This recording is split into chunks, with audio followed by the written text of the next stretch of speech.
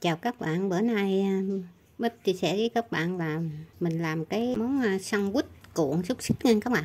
Mình à, có bột chiên giòn nè, ấy mình có bột chiên giòn nè, mình có bột xù nè. Đây mình có khung mai lát nè. Mình có xúc xích nè. Mình có sandwich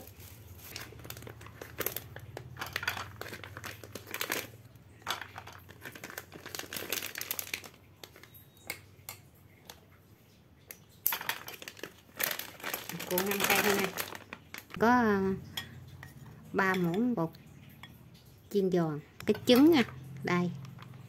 Mình bỏ vô đây một miếng hạt niêm ha. Mình cho hai muỗng hạt niêm nha các bạn. Mình quậy hạt niêm cho đều ra rồi mình à, cho trứng vô nha các bạn. Một cái trứng thôi.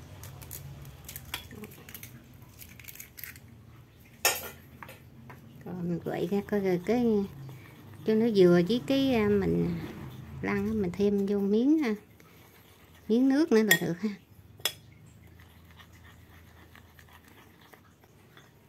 Cho vô hai muỗng nước nha các bạn. Hai muỗng, ba muỗng gì nó vừa với cái tầm của mình vừa với cái bột mình mình lăn nè. Chắc có bốn muỗng các bạn. Nào nó rỗng ra bột xong các bạn. Đây mình có phô mai được phô mai lá.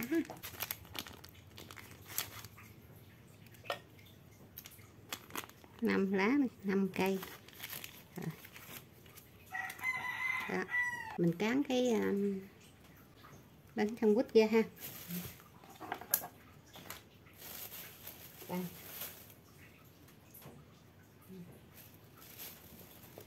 Thau quýt này là củ khoai tây nha. Ừ. Giờ mình cán cán nó ra. Mình cho phô mai vô mình cán nó ra luôn ha.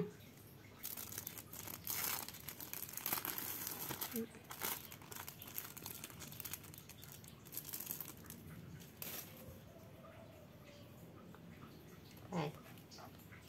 giờ mình cán nó ra bằng cái xúc xích nha, các bạn. Mình cán nó ít thôi nhờ à, cái này.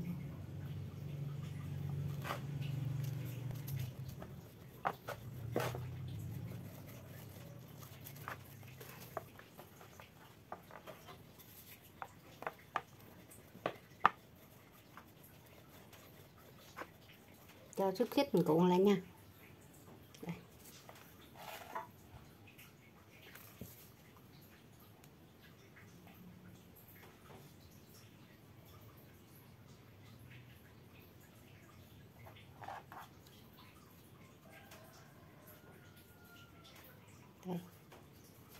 Cá mấy này ra trước các bạn đây. để vô nó bị dính chắc xíu này thì thì mới dính. Bạn ơi mình cuộn đã xong rồi đây. Rồi giờ mình lăn ha.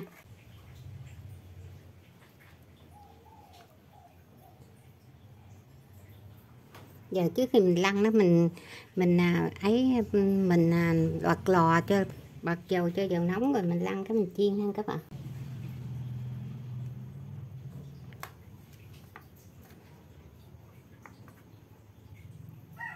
Đây.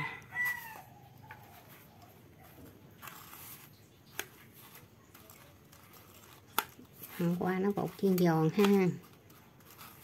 Cặp dính tay rồi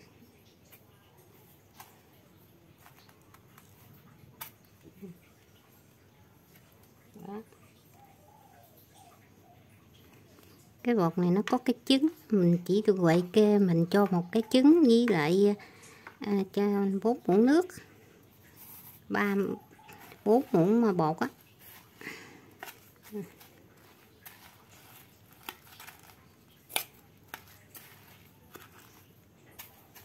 Mình chấm hai đầu nó luôn. Nè. Đây.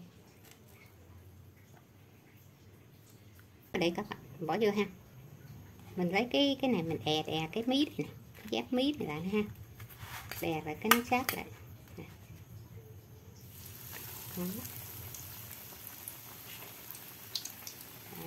Ăn và lại mấy cái chỗ mà nó thấm ướt ướt.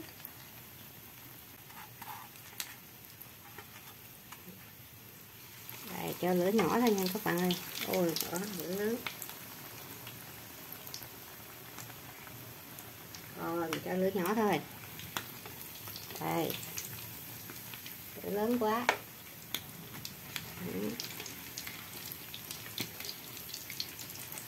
Này, bị xì có đây. Giòn thấy luôn á.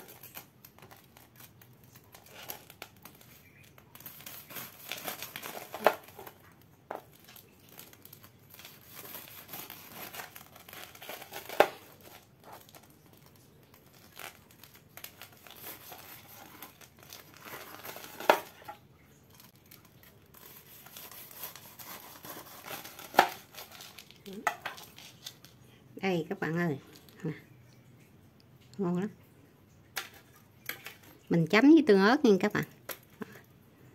Chấm tương ớt hay hoặc ăn gì cũng được tương không cũng được ha. Đó cô mai nó chảy. Ừ. Đây, còn nóng lắm mình ăn không được đâu chứ giòn lắm. Đây ừ. ăn nóng nó ngon nha. Đây các bạn ơi, thấy mình chia sẻ, có hay các bạn nhớ like, đăng ký giùm mình nha. Mình để cho mình có cái động lực để mình làm những cái clip tiếp theo cho các bạn coi nha các bạn. Nó giòn.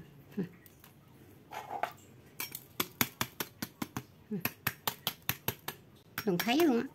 Rồi, mình chào tạm biệt các bạn nha.